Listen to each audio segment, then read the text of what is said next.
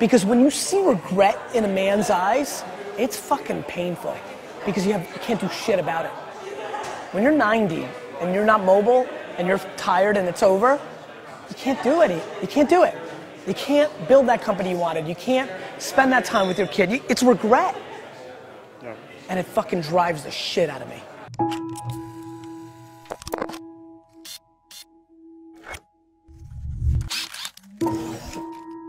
Look, I think failure has to be quantified. If you fail that you never can get up from it again, you know, that's not a good failure. I think I think failure and adversity are the two things I think about. For me, as an entrepreneur and very entrepreneurial and always in my own stuff, all the failures along the way, even going back to like the baseball card show when I was 13 that I paid $400 for a table and nobody showed up to that baseball card show. That was a learning lesson. Those micro failures were super, super important. I think, you know, it depends on your stomach, right? Like if you if you really fail, like go out of business, I think people take one of two ways, right? They're like just finished and they're never able to get off the mat and they go in a different direction. So to me, I think quantifying the failure is important to me. They gotta change, you gotta evolve. Like Madonna did it right. She reinvented herself 14 times. That's why she had a long career. You know, like you've gotta reinvent yourself. You know, so I, let's talk about sports. When you're the best athlete and you're like the guy and you're like one of the top 15 players, Draymond Green, he's my buddy.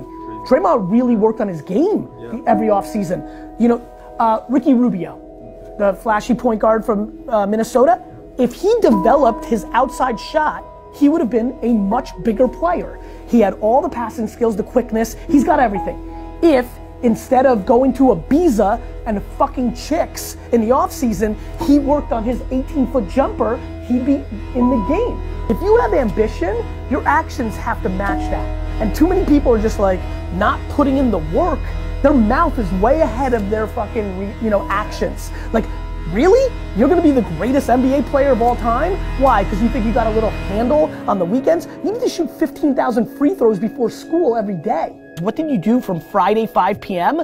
until Monday 7 a.m.? I'm just curious. Like, and I don't think you shouldn't have a weekend, but I think everybody's ambition actually is more predicated on their actions than their words. My friends tell me all the time they're so ambitious. And I'm like, if that's true, then you punt leisure and you punt concerts at Jones Beach and you work. I realize what's going on here. One life. I realize that I'm living like this is our only at bat and most of you aren't. People fucking walking around here like they're coming back. People fucking walking around here like they're coming back.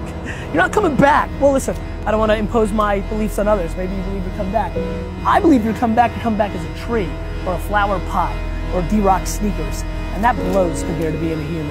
And so I'm acting that way. I'm acting that way.